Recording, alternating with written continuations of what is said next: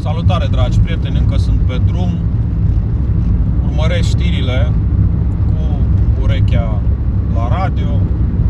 Când sunt în zone unde nu se prind toate posturile de radio mai sălbatice, așa, uh, asistenta mea, soția mea, copilotul meu îmi citește știrile de pe telefon.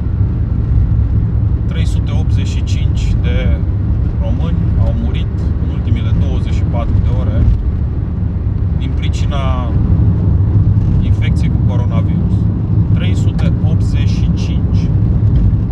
Dintre ei, dragi prieteni, 352, deci 352 din 385 sunt nevaccinați.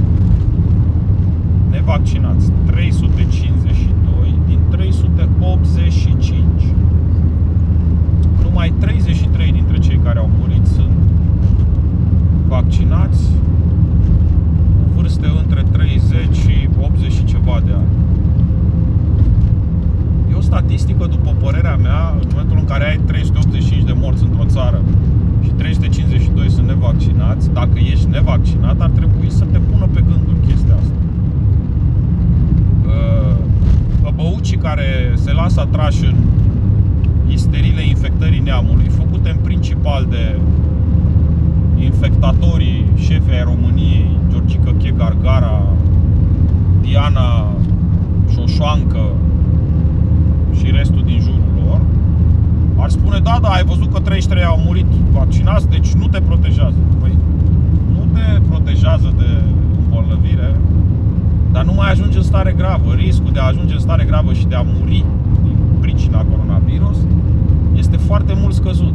Foarte, foarte, foarte, foarte, foarte mult cât scade acest risc, cu atât secțiile de terapie intensivă ale spitalelor sunt mai puțin forțate și cei care, din diverse motive, motive ce țin în principal de bolile, alte boli pe care organismul poate să le aibă în momentul în care ia coronavirus, chiar dacă este vaccinat, fiind mai puțin, sunt în capacitatea de gestiune a secțiilor de terapie intensivă și sistemul sanitar are puterea să facă tot ceea ce stă în putință ca să evite moartea acelor oameni.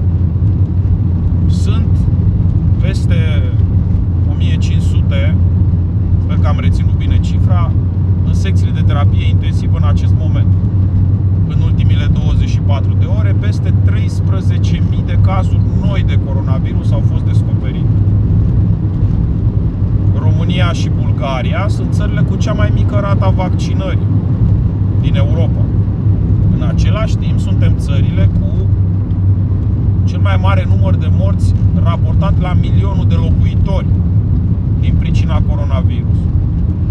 De ce România și Bulgaria? Simplu, pentru că în România și în Bulgaria este cea mai puternică influență a intereselor Rusiei, a propagandei Rusiei și este cea mai puternică influență a Bisericii Ortodoxe. E foarte important acest aspect. Vă rog foarte mult, n-am să mai reau această teorie pentru că am început cu asta, dar subiectul principal e legat de inconștiența, nici nu știu cum să o denumesc, inconștiența, nebunia. Deci oamenii ăștia se duc în zona nebuniei a Partidului Național Liberal și a lui Câțu și a lui Iohannis, că de fapt ăia sunt niște iesmeni acolo dar vă invit să intrați pe net și să căutați Alexander Dugin plus Ortodoxie plus Rusia. Alexander Dugin este ideologul lui Putin, este un profesor universitar, mare filozof, mare politolog. El a creat această doctrină în baza căreia care spune că ar trebui refăcută Uniunea Sovietică cu foste țări din blocul comunist și că liantul în care care ar trebui să stea la baza acestei refaceri a zonei de influență a Moscovei, printre altele, un liant este elementul naționalist și ideea că, domne, să hai să insistăm pe naționalism și pe nu știu ce și că Uniunea Europeană și NATO reprezintă niște imperii ale răului care ne distrug ființa națională și ne gheifică și așa mai departe, da? Un alt element este religia. Religia ortodoxă este folosită, oameni buni, Este folosită ca element de manipulare. Nu este o întâmplare că cele mai mari evenimente ale infectării nației, pe lângă cele organizate în București de Georgica Chegargara, Diana Șoșoacă și alții, au fost organizate în jurul unor capi ai Bisericii Ortodoxe, cum este Teodosie Șpagoveanu de la Constanța, sau în jurul unor evenimente importante din viața Bisericii Ortodoxe Române, cum este Sfânta Parascheva. Înainte să plec la drum am citit știrile de la Iași și chiar am scris pe Facebook Șoșoacă acum iar o să fac o infectare a neamului. N-am mai apucat astăzi să citesc, să văd cum evoluează lucrurile acolo, ce știri sunt de acolo, pentru că trebuie să fiu pe, trebuie să fiu pe drum. Ieri am fost la acea dezbatere la Turnul Severin. Materialul este pe paginile mele de Facebook. Vă invit să intrați și puteți să vedeți. A fost o dezbatere foarte interesantă de două ore jumătate despre maratonul Civic Resist și apoi o emisiune la o televiziune locală din Drobeta Turnul Severin, RTS. Sunt lucruri foarte interesante, vă invit să le urmăriți. Nu pot să le ridic și pe YouTube din motive de uh, drepturi de autor. YouTube este foarte strict la acest capitol și nu vreau să am discuții, neînțelegeri, probleme, așa că îmi fac comentariul zilei, așa cum v-am obișnuit în fiecare zi analiza pentru cei care mă urmăriți pe YouTube. Știrea cea mai importantă a zilei, dragii mei, a făcut această introducere. De ce? Pentru că criza sanitară se agravează, nu se întâmplă nimic care pare să ne ducă spre o direcție pozitivă. Din contră, perspectivele sunt foarte neplăcute. Vor urma mari infectări ale mari adunări ale infectării neamului organizate de către dezaxații ăștia al de Georgica C. Gargara, Diana Șoșoancă și alții. Și ei vor avea justificare să facă chestia asta, să prostească hăbăucii Că nu pleacă câțul, domne, și trebuie să ieșim în stradă să-l dăm jos pe câțul O să adune o grămadă de oameni și va fi și mai nasol, da? Va fi o rata infectării și mai mare și ne îndreptăm încet, încet către un dezastru. În acest dezastru, normal ar fi fost și cerebral și nu să vă explic. Nici nu știu cum să calific ca să nu folosesc cuvinte prea dure, prea urâte. Deși ar merita să le folosesc bun simț, domne, ar fi fost ca liberalii să facă o ședință să discute. Bă, nu se poate. Câțu a făcut foarte multe greșeli. Cu el nu se mai poate face o majoritate din nicio parte, oameni buni, din nicio parte. Hai să propunem pe altcineva, să punem pe Câțu, nu știu, președinte la Camera Deputaților, să propunem un alt prim-ministru. Nu, liberalii merg cu Câțu. Cine se duce la Cotroceni și e foarte importantă echipa asta, echipa, da? Rareș Bogdan, care a devenit un fel de gargaragiu șef al PNL-ului. Îmi pare foarte rău pentru el. Din punct de vedere uman, eu de mai multe ori v-am spus, Rareș când era jurnalist la Realitatea era singurul om care mă mai invita. El tot timpul a, m-a respectat ca om. Când îmi răspunde la telefon, îmi explică, îmi dă argumente, vorbește frumos. Deci uman, eu nu am ce să-i reproșez, dar jurnalistic, jurnalistic trebuie să atrag atenția, oameni buni, jurnalistul Mălin Bot, despărțit de omul Mălin Bot, că toți suntem în Banat aici, am trecut pe la granița Serbiei și prietenii sârbi au o vorbă pe care o știu din copilărie. Slujba e slujbă, drujba e drujbă, da? Drujba înseamnă prietenie în sârbește, adică bă, suntem drujba, dar slujba e slujbă. Dacă eu sunt polițist la rutieră și tu ești prietenul meu și te-am prins beat la volan, n-am ce să-ți fac. Ți-am luat permisul și suport consecințele legii, da? Rareș Bogdan s-a transformat într-un propagandist și într-un uh, politruc foarte, foarte, foarte grețos oameni. Deci, Rareș Bogdan, principalul yesman și principalul politruc al intereselor lui Iohannis în PNL, Gheorghe Flutur, de se duc la Cotroceni, da? Ce reprezintă Gheorghe Flutur? E foarte importantă componența acestei echipe, ca să vedeți ce zace în spatele dezastrului național în care ne adâncește.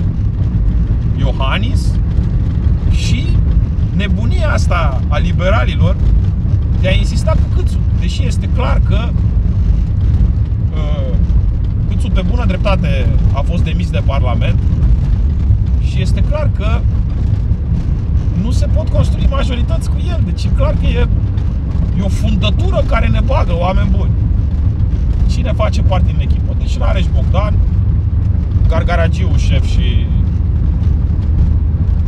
principalul propagandist al interesului Iohannis, care or fi alea, că e foarte tulbure ceea ce se întâmplă în această perioadă.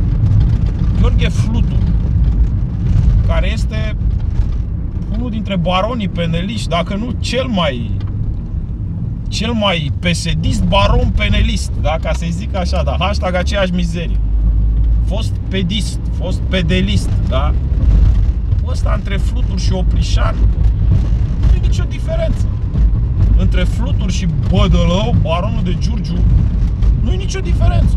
S-ar putea să fie o diferență de bani, Flutur să fie mult mai bogat decât ei, da? Între Flutur și, nu știu, Mischie de la ăla de la Gorj, de unde era Mischie, sau ăia de la Prahova, Alughiță, clanul Cosmo. Nu e nicio diferență. Ca să vedeți, oameni buni, cine este Hidra din spate. Da?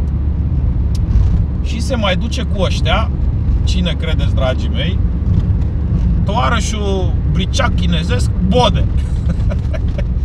deci vă dați seama, tot ce partidul ăsta național liberal, marele partid național liberal, al doilea partid ca mărime, tot ce a putut să producă într-o criză politică foarte gravă este Rareș Bogdan hau-hau, gargară, da, dar Rareș Bogdan e un politician de carton, deci el ca a fost jurnalist știe să facă hau-hau, dar în spate nu se află nimic, avem nimic, nimic, nimic, nimic, numai gargară. Plus că s-a făcut de maro rău de tot, rău de tot, pentru că a promis niște lucruri în campania electorală. Eu i-am spus atunci, bă, Rareș, nu te mai arunca cu chestii pe care nu le puteți face desfințarea pensiilor speciale. Păi tu știi ce majorități o să ai în Parlament? Tu știi ce majorități ai? Cum poți să zici tu că le desfințezi în nu știu câte zile? Faci niște promisiuni și te faci de râs după aia. Dar mă rog, el extaziat a făcut de s-a făcut de râs. Da, e gargară, deci nu e nimic în spate, da? E carton, e gargară.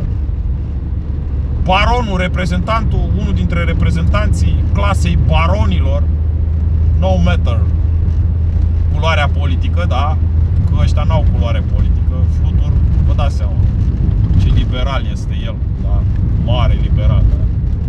Baron local și Bode ăsta, securistul ăsta de Bode, care cine este Bode? În primul rând este marțafoiul mafiei din Ministerul de Interne, mafie instalată și consolidată pe vremea lui Dragnea, toți oamenii lui Carmen Dan, mafie pesedistă, da? Și este exemplu Bode e exemplu politrucului comunist standard, da? Standard, oameni buni, da? Bun la toate. Deci Bode este ca mierea de salcâm. Bun la toate. Îl pui și în ceai, îl pui și în cafea dacă îți place cu miere, dai și pe rană, se dă cu miere pe rană uneori, îl pui și într-o tavă să prindă muște că trage musca la maro și la miere. Deci Bode este bun la toate și bun la nimic implicit, da? Inginer, nu mai țin minte, sper să nu greșesc, electromecanic, cred că era el sau ce era. Am vorbit despre vremea chestia asta la momentul respectiv. Deci un gargaragiu, un baron din ăla hardcore, da? Din Jurasicul mafiei teritoriale locale românești, implicat într-o grămadă de porcării din județul cu 70 de miliarde de probleme, inclusiv problema defrișelor abuzive și mafiei lemnului. Și un politruc, politruc, politruc, oameni buni, deci politruc desăvârșit, da? Toți, toți ce au în comun? Profil de iesme, profil de să trăiți șeful, am înțeles șeful, așa facem șeful cum vreți voi, dumneavoastră șeful. Vreți să sar să o bat pe mama, da șeful, mă duc și o bat pe mama cât de mult vreți să o bat. O oră, șeful, două ore o bat pe mama, jur. Deci profil de iesme. Și ăștia se duc la Palatul Cotroceni. Cred că Iohannis le-a zis cine să vină, da? Împreună cu un liberal de la Prahova, cantitate neglijabilă. Și ăștia se duc la Cotroceni. Ca să ce? Ca să-l propună lui Iohannis tot pe câțu. De soluția lor politică, da, această nici nu știu cum să o numesc, ceata lui Papuc, da? Nici măcar ceata lui Papuc. Ceata lui șlap chinezesc, da? Că ăștia, practic asta reprezintă, din punct de vedere politic, sunt niște gablonțuri, niște ieftinituri în politică, nu reprezintă nimic, da? Ceata lui șlap chinezesc, lui Papuc de la Dragonul Roșu, se duce la Iohannis ca să ce? ca să fac o propunere care adâncește criza politică, oameni buni. Adâncește criza politică. Este absolut șocant pentru mine uh, ceea ce fac acești oameni, ce face Marele Partid Liberal, însă și poziția lui Câțu. Eu nu credeam totuși că Câțu este și el atât de decelebrat, atât de irresponsabil, încât să nu facă el din proprie inițiativă, indiferent de ce cere Iohannis, să nu ia decizia corectă, da? care ar elibera și România de o criză și partidul lor și pentru că Partidul Național Liberal se duce de-a berbeleac. Deci oamenii ăștia nu conștientizează că riscă să pățească după povestea asta exact ce s-a întâmplat cu PNCCD-ul după experiența Convenției Democrate. Da, ei se duc cu câțul la negocieri și bineînțeles asta nu este o soluție. Președintele Claus Iohannis, dacă PNL-ul nu-i prezintă pe câțul, el cu câțul devilează. Cum se duc ei cu câțul? Ce prevede Constituția? Ca să înțelegeți oameni buni cât de, cât de stupizi sunt. Că sunt stupizi. Deci dincolo de faptul că e o ticăloșie incredibilă ce fac, sunt low IQ. Constituția prevede că președintele nominalizează un prim-ministru dacă nu există o majoritate, un partid, deci dacă nu există un partid care să aibă majoritatea normal, ăla numește prim-ministru, atunci președintele nominalizează un prim-ministru și primul ministru respectiv își caută o majoritate. Pe cum să-l nominalizezi tu pe Câțu ca să-și caute o majoritate? Ăsta e mecanismul constituțional, da? Ăsta e mecanismul, așa funcționează. Cum merge mașina. Te urci în mașină, calci ambreiajul, pornești motorul, o bagi într-atâia, ridici ambreiajul, ții volanul în față, pleacă mașina. Da? Așa funcționează. Și tu ai o mașină din care cineva a scos motorul. Și tu te urci în acea mașină, cum a scos motorul, în ce sens? Păi, Florin Câțu este prim-ministrul demis cu cel mai mare număr de voturi. Din 90 până în prezent. Da? 182 de voturi. Nici o moțiune de cenzură n-a trecut cu număr atât de mare de voturi. Deci este clar că acest om nu are ce majoritate să-și negocieze în Parlament. Nu e clar. Nu e clar, nu e logic. Adică tu ai o mașină din care cineva ți-a scos motorul. Și tu, Iohannis, ca un, nu știu cum să te numesc, da? Că râde lumea de tine. Deci oamenii ăștia devin, nu ridicol, devin, intră într-o zonă uh, penibilului patologic, da? Și tu te urci în mașină spunând tuturor o să plec cu mașina asta. Deci, bă, nebunule, nu vezi că nu mai ai nici capotă la motor și că e o gaură acolo? Nu vezi? Nu vezi? Ce să faci tu cu câțu? Ce să facă câțu? Ce să negocieze câțu? Își imaginează Iohannis că useriștii, după ce l-au dat jos pe câțu și s-au îmburligat cu aur și și-au luat tone de produse de carmangerie, da? A fost la ei depozita între frig, da? Pe chestia asta. Acum ei o să-l accepte pe câțu? Păi sunt nebun? Nu sunt nebun. Își imaginează Iohannis cu cine o să facă câțu majoritatea. Cu cine? Își imaginează Iohannis că uh, pesediștii care au votat moțiunea și au inițiat moțiunea cu Câțu poate să vină în fața publicului lor să spună, bă, totuși noi ne-am răzgândit, îl vrem pe Câțu. Și e clar că omul ăsta n-are cu cine să negocieze majoritatea. Și atunci ce sens are? Ce sens are să-i pui tu, Iohannis, pe papagalii aia de la PNL, da? Că altcumva nu pot să le spun, da? Nici măcar papagal nu sunt, da? Pe ruși, niște papagali mai mici, da? Ce sens are să-i pui tu pe ea să vină și să ți-l propună tot pe câțu?